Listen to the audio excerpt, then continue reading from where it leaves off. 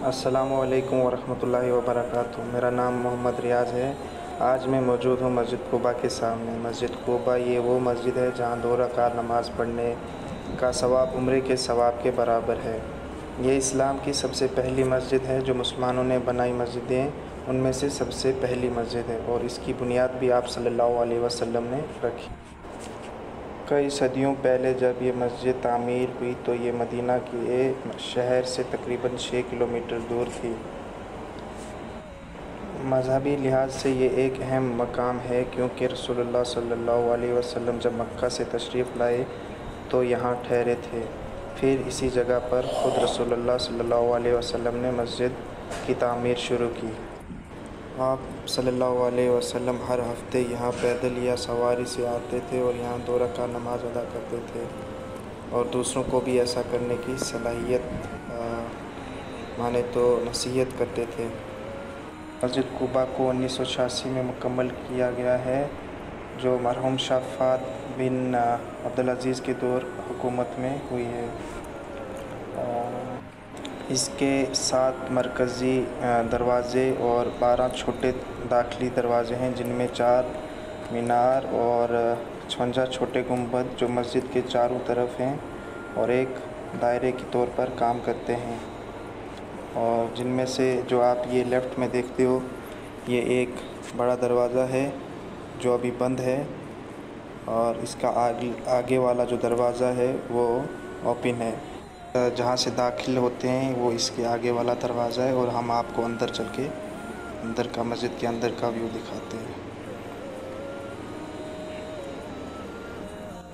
और जब आप अंदर दाखिल होते हैं तो ये मस्जिद का सहन है और ये यानी मस्जिद की पिछली साइड है और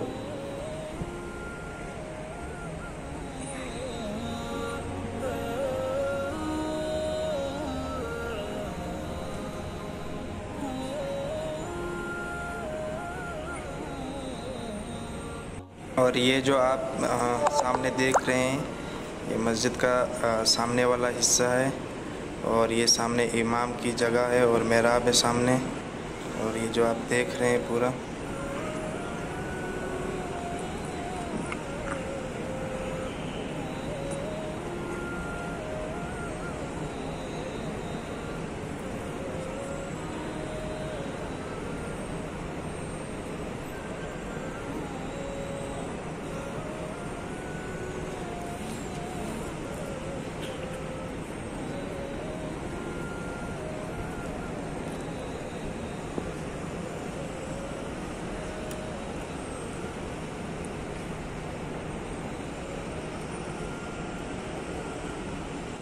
जब मैं आया था तो जहर का टाइम था और आज सोमवार है तो उतना रश नहीं है। हफ़्ते के दिन बहुत ज़्यादा रश होता है या जुम्मे के दिन तो अभी उतना रश नहीं था।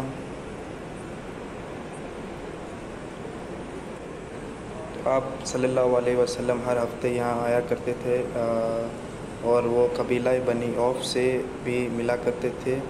कबीला बनी औफ आप सल्लल्लाहु अलैहि वसल्लम की बहुत मोहब्बत थी उनसे और वो बहुत वफ़ादार थे आप सल्लल्लाहु अलैहि वसल्लम के और उनके लिए हर हफ़्ते वो उनसे मुलाकात करने के लिए आते थे मस्जिद कोबा में।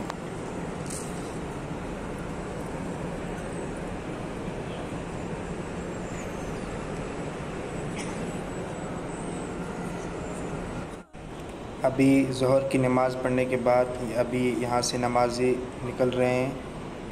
जोहर की नमाज़ हुई है अभी तो नमाज़ी सारे निकल रहे हैं। उतना रश नहीं है। वैसे तो यहाँ पे बहुत ज़्यादा रश होता है। और यहाँ तकरीबन बीस हज़ार लोगों की एक साथ पढ़ने की जगह है इस मस्जिद के अंदर।